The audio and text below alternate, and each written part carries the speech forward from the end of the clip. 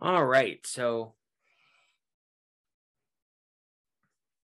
hey everyone, welcome to Why Are You Still Here?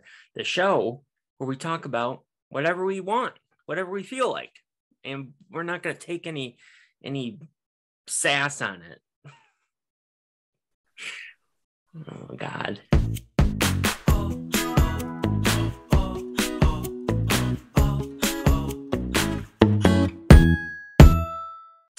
Hey everyone, and welcome to Why Are You Still Here? The show where we talk about whatever we want. And uh, today, I am talking about my first thoughts on the Black Phone. Now, Lucas is not here for this one, unfortunately. It was just, it's one of those things. It was a bit of scheduling issue, as well as um, his excitement level wasn't quite where mine was for this movie. So, you know, he'll see it eventually. I'm sure we'll get to hear his thoughts uh, when it comes out on Blu-ray or whatever. Uh, but until then, we're just stuck with my thoughts. Unfortunately, I'm sorry to tell you, but it's true. What? Uh, the movie stars Mason Thames, Madeline McGraw, Ethan Hawke, and uh, it is directed by Scott Derrickson. It's also, I believe, yeah, the screenplay is written by Scott Derrickson as well as C. Robert Cargill. And this was a movie I just saw yesterday, and it was great. It really was. Um, I remember the first trailer I saw for it, and honestly, I was hooked as soon as Ethan Hawke dropped his groceries and proclaimed that he was a magician. I was like, I don't know what else is going to come after this, but I'm sold already. So if you have seen the trailers, you know at least enough that there's a kid named Finney who is abducted by this guy. I, I can't remember if they they reveal his name, but it's the grabber. I guess that's not a really big you know, deal. The papers call him the grabber. I wish you wouldn't call him. And shoves him down into his basement, obviously with bad intentions in the future. You know, he's he's probably gonna kill him. And there is a phone on the wall, a black phone, if you will, which starts to ring. But it's like this is crazy. This phone is not even hooked up to a phone line. What's going on here, right? And it turns out it's the voices of every other kid who has been murdered by the grabber.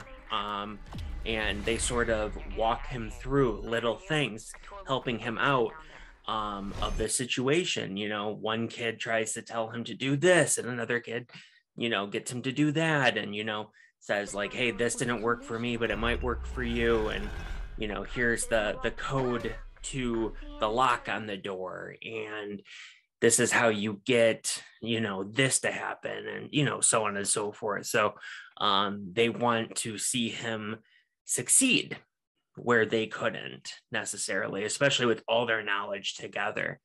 And um and yeah so it, it's pretty it's a pretty uh interesting concept. Uh it came from joe hill the son of stephen king. And i have not read the short story but I think I might might give it a go after after actually seeing this movie because uh, I, I was I was uh, I was really really into it. I mean, it is an awesome movie. Um, so obviously I enjoyed it. You can tell I enjoyed it. Um, I've already said that. Uh, that's how much I enjoyed it. But uh, you know, I'm gonna start getting into spoilers now, just because. I mean, it's it's hard, really hard not to. And I feel like this is one of those movies, kind of like Elvis. It's interesting that they released on the same day, where you're either going to see it or you're not going to see it. Um, even if you're like, uh, you know, a little bit interested, you're not sure, maybe you're watching this video just to, you know, try to figure out if you're going to go see it or not. Eh, you're probably going to see it. I mean, let's be honest, right? You're going to see it. Um, so I'm going to have to ask you to turn away. Look away, child. Look away! um, if uh, you have yet to see the movie, and uh, continue watching if you have seen the movie, unless you're fine with spoilers. But I really, really, really have to encourage you not to watch this video. uh, if you haven't seen the movie. I don't want you to be spoiled and I don't want you to make that decision for yourself either. I'm sorry, but obviously it's out of my control, but I've talked enough about it. So let's get into it, shall we? The first thing that I want to get into is the 70s aesthetic of the movie. And uh, if you can't tell by the shirt I'm wearing, I felt like it was, uh, you know, made sense uh, for this review because uh, the movie kept reminding me of it. And I don't know what that was exactly. Is it the fact that it was about a lot of kids and there's something going on in a small town? And, you know, is it, you know, potentially Joe Hill is paying tribute to his father in some way? Um, again, haven't read the original short story, so I don't know if that is sort of present in that first short story, if it feels like a Stephen King uh, tribute. Um, but uh, I loved it. I truly loved it. Uh, it really felt like this was a movie that not only was, you know, uh, paying homage to the 70s and based in the 70s, but it felt like it was actually filmed in the 70s and in a lot of ways um, felt very authentic. So when I first saw the trailers to this movie, I have to admit I thought it was PG 13. So imagine my surprise and excitement um, when I'm watching this movie and I'm seeing a lot of blood. There's a lot of blood in this movie, especially early on, um, these really visceral um, fight scenes between kids. Like this movie did not shy away between inter-child violence, if that's what it's called. I mean, it felt very real um, and uh, and was very uh, nasty because of that realism um and obviously they're they're swearing in the movie as well. So that was a bit of a hint to me. Uh but uh i was like oh yeah i think this movie is actually probably rated r. Cool. So the movie is smart in a lot of ways. Um one major way that i can think of right off the bat is the fact that it, it spends a lot of time. It spends about 30 minutes if not more um, developing the the characterization of Finney and his sister Gwen and the relationship between the two of them, as well as just Finney's friends in general. One of which is in that fist fight, right? I started to really care about them a lot. You know, I'm like, I really like these kids. So when the shit hits the fan and Finney is grabbed by the grabber, right? I was like, no you know like i knew it was coming of course like anybody that saw the trailer knew it was coming. Um just knowing what the movie's about in general you, you probably know it's coming. But uh but that was like it really you know made me feel something because of that. Like i I, I felt, you know, like nauseous in the pit of my stomach. And that whole moment of him being grabbed is is really quite sickening, actually, because again, I keep saying this word, but it's so realistic. You can see where something like this could easily happen. You know, like you just let your guard down for a second and, you know, somebody, you know, sort of gets your attention here. You know, it's like the grabber really is a magician because he's using sleight of hand basically. You know your attention's over here looking at the broken eggs and he's saying want to see a magic trick? And then over here he's getting prepared to actually do something to you. So finney you know takes his eyes off of what's going on for a second to say are those black balloons in the back there?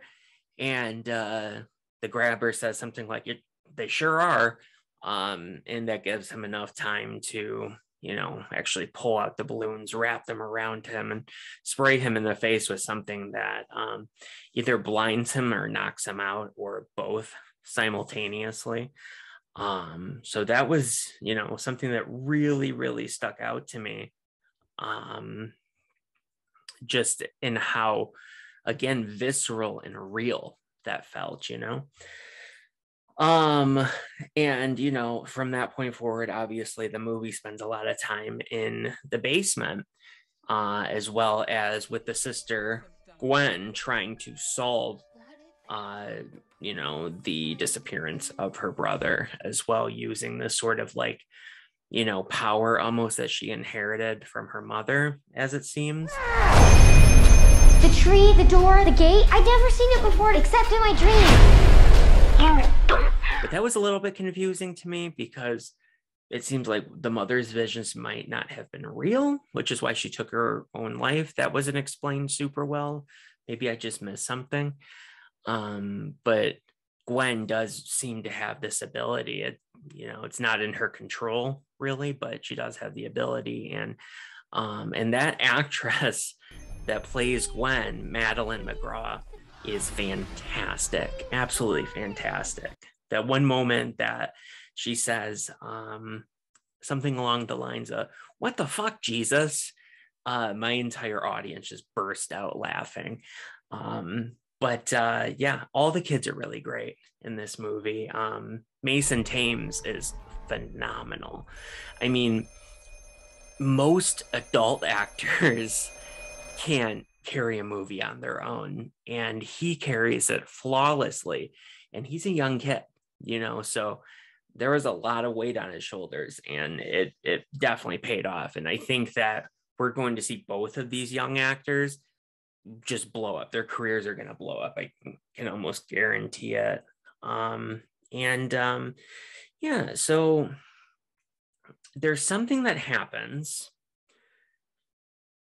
in the very first moments of the grabber bringing Finney into the house that kind of gave me pause. And um, I, I, should have mentioned before that Finney actually stabs the grabber in the arm with this little rocket ship toy that he carries around with him. Um, so he actually hurt him a little bit as he was abducting him. And when he gets him into the house, but he's still on the upper floor, he says something along the lines of like, like, you got me real good. I ought to break your neck for that.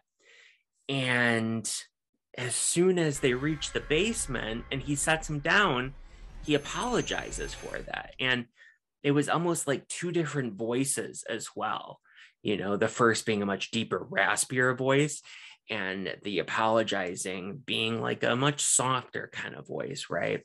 And I kind of, you know, noticed that and filed it away in my brain. And um, then the movie went on from there. And then obviously, the grabber has a mask that has parts that can switch out on it, right? And that moment where you first find out and I believe it's it's shortly after one of the first phone calls um, that uh, one of the previous kids uh, was it the paper boy? I think it was the paper boy uh, was beaten to death with a belt by the grabber when he went to go escape. You know, because he leaves the door open. It's like you know playing mind games basically with the kids and um and you see that he switched out the mouth that was a smiley mouth with a frown, you know. And that got me to start thinking about some things here, you know. Um, I, I have a theory. I haven't seen anybody else mention this theory. Um, if somebody has elsewhere, let me know. Mm. I think that the grabber has different personalities, which are reflected in the different masks that he wears. And when he is upstairs on the ground floor, he is sitting there in the chair, frown on his face, right? Uh, he has a shirt open, you know, revealing like a, a beer belly physique. And he has the belt on his leg, right? And this kind of mirrors uh, Finney and Gwen's father, who you know believes in the same type of authoritarian type of punishments right um and this got me to think like okay so when he's upstairs he has almost like this this sort of father mentality right um and then downstairs he's had more of like a, a feminine kind of quality to him Ooh, creepiest damn thing. So I think in his mind, he is sort of, you know, acting out this weird family dynamic. Okay. So you have the father with the frown face, you have the mother, let's say, with the devil face and the smile. This is the person that, you know, talks in a very, like I said, feminine way, the whole this face, you know, that kind of thing. Um, who also is the one who cooks and brings down the food for Finney, right? I made you some breakfast. What'd you put in that? Salt and pepper. And then there's the other one that we saw only briefly. And it was when Finney wakes up after the phone is like, you know, acid tripping on the wall. And um, he is only wearing the bottom of the mask, but revealing his eyes. And that one's much more kid like, you know, like I just wanted to see you kind of thing, you know? And then there's the fourth and final version of his personalities, which I look at as the killer, which is eyes concealed with the devil mask, but mouth open. So, to reiterate, my theory is that the grabber has a family of personalities that he switches through the father, the mother, the child, which is probably him, you know, they didn't get into his you know background or origin story or anything like that which is fine with me. Uh, makes him scarier actually. Um, but that might be him as a kid and then the final personality the killer right? And i saw that cody leach actually pointed out towards the end of the movie when his mask is pulled off um, or beaten off rather um, and his face is revealed and he sort of freaks out and cody was like well wait a minute his face was revealed before and he didn't care. And i think that's because he was in a different personality. This is a specific personality. He has a specific ritual for when he actually does the killings right? And it has to be that way. It has to be perfect. Um, i have a feeling that if that gets messed up you throw a wrench into it at that point then it makes him freak out because it has to be the way that he sees it, right? If he's in a certain personality and you sort of mess that up, then that is going to just it's going to change everything, right? I I wonder something else. So I'm going to ask you guys this as well.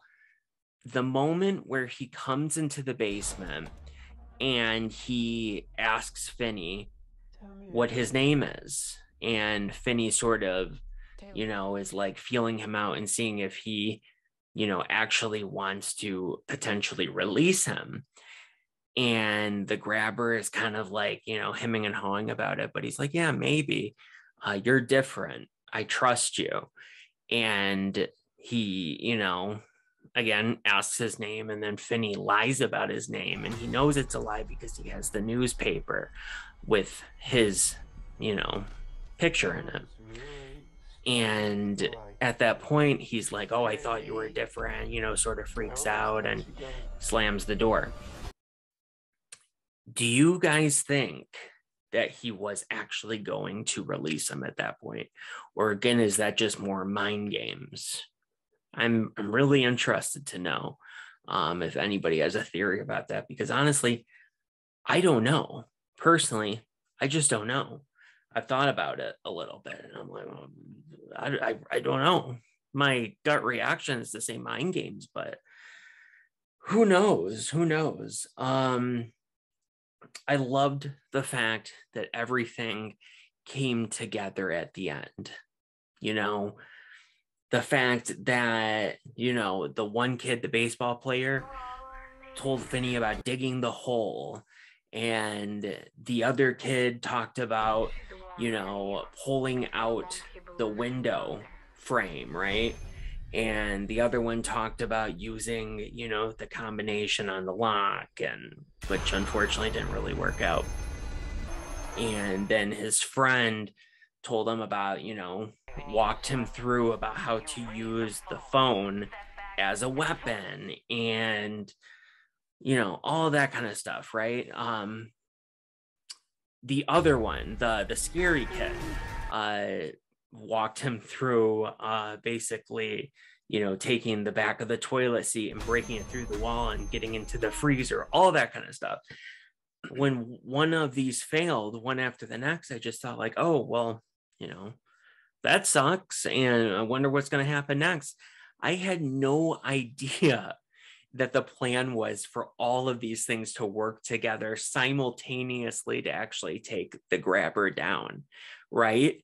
So he falls into the hole and breaks his leg and while he his leg is broken Finney's able to beat him in the head with the phone filled with sand and then with that last obstacle there the dog there is the freezer full of steaks so he's able to throw that to the dog and it was just so cool that every little thing was like a puzzle piece that clicked into place and just worked for him to finally get out of there. Um, it honestly it gave me chills when everything started to work. I'm just like, oh, so cool. So cool. Um, the only part of that that confused me a little bit was the window because the window didn't come to play into it whatsoever. And they never really went back to it, you know, like there's the whole scene of him pulling out the window. Great and that was kind of it. He was like starting to jump up to unlatch the window. And then that was it, you know, and it was like, okay. Um, because he could probably, like that one kid said, he could probably pile up, you know, the rugs and stand on them and get up there and unlatch the window. But, you know, whatever. Um, I'm not a screenwriter, so who am I to say, right? Um, the last thing I'll, I'll mention before I get into just the couple negatives I have uh, is that there are some really effective jump scares in this movie. I usually don't like jump scares at all. Like, usually I despise them quite a bit, but these were pretty good. And one of them was in the trailer as well. I believe the first trailer, and it still got me. Who are you? And the other one was with the you know, the floating kid as well, who, you know, points. What's the combination? That was that was pretty good. That was pretty good. Um, as for negatives, uh, I don't have a lot. I have really just two of them. And the one is the character of the father, Finney and Gwen's father. I was like thinking, what is the point of this character? you know he's abusive he's an alcoholic is it just supposed to paint the picture that that finn and gwen are like tough you know they've been toughened over a life of dealing with somebody like this i i really don't know and his character arc was basically that he apologizes at the end i guess i don't know i was uh, a little unfulfilled by that one. Um, and the other one's more so like a nitpick. It's the brother, the character of the brother who pops up basically only when it's convenient for the plot. And he gets axed in the head, which was an awesome moment in the theater. You know, the audience reacted to it in a very fun way. But it was like, oh, okay. In a movie where I didn't expect anything, I expected that one. I was like, oh, okay, well, it's fine, whatever. I'll I'll give him one. I'll give him one. Um, so you know, honestly, the only thing there is to talk about now is my rating, and this is a movie that easily could have taken my number one spot if it wasn't for two things that have come out already, unfortunately or fortunately, whatever, you know, I guess fortunately, I'd rather have more good movies in my life than bad movies. Um, but if it wasn't for Scream, which I adored, and Top Gun Maverick, which I love that freaking movie. Um, if it wasn't for those two, this would be taking my f- number one spot easily, easily. So, um, so that puts it at number three. And because of that, I would give the movie a nine out of 10. Okay. And I just want to pose a couple questions to you guys in conclusion, right? So, first off, what did you think about my theory? right? I want to know do you think that it's right? Do you think that that's what they are going for? Or do you think that I'm just completely out of my mind? So, again, my previous question of do you think that the grabber would have actually killed Finney? Um, or let him go actually you know if he was just honest about what his name was this sounds so stupid to say it out loud but you know sometimes just tiny little details like that can make a huge difference and you know would the grabber have actually let him go if he just said what his actual name was or was that just a mind game that had been played by the all the previous kids before him as well and yeah, really that's it. So if you saw the movie, what did you think of it? Did you like it? Did you not like it? Did you think that I gushed about this movie too much or not enough or, you know, whatever? Um, comment below, let me know what is your rating for it. And, uh, you know, give me like a little, you know, review or a big review, you know, whatever. What I'll read it, I'll respond. I have nothing else to do with my life uh, except work occasionally, right? Um, and that's it. So if you enjoyed the video, please hit the like button. I know I've been going on about it for the last few videos, and I'm sure it's super annoying. And I understand it's not always the easiest thing to remember. I mean, I watch videos on YouTube myself, and you know, I like tons of videos that I forget to hit that like button on. I understand it. And that's why we have this, you know, reminder. Unfortunately, the way the YouTube algorithm works, it is the only real consistent way of showing them that you like our channel. If they see a video is liked, they'll go, oh, somebody liked this well, now we can move it down the conveyor belt and show it to other people that might like it as well. And uh, nothing else carries the same weight as a like, unfortunately. You can watch our videos for hours, you can comment on our videos, and it just doesn't do ex- quite the same thing, unfortunately. So if you could do that for me, I would really appreciate it. Um, and and that's it. So I, I hope you guys have a wonderful rest of your morning, afternoon, evening, whatever it is. And uh, I will see you guys in the next one. All right. Bye.